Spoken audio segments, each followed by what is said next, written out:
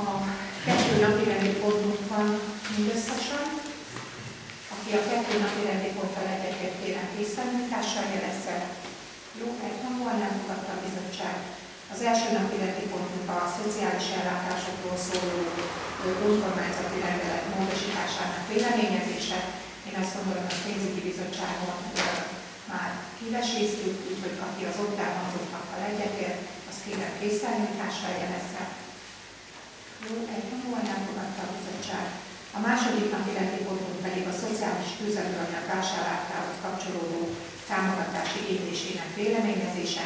Ezt is véleményeztük a pénzügyi bizottság ülésen, és akkor aki az ott elhangzottakkal egyetért kérünk jelezze.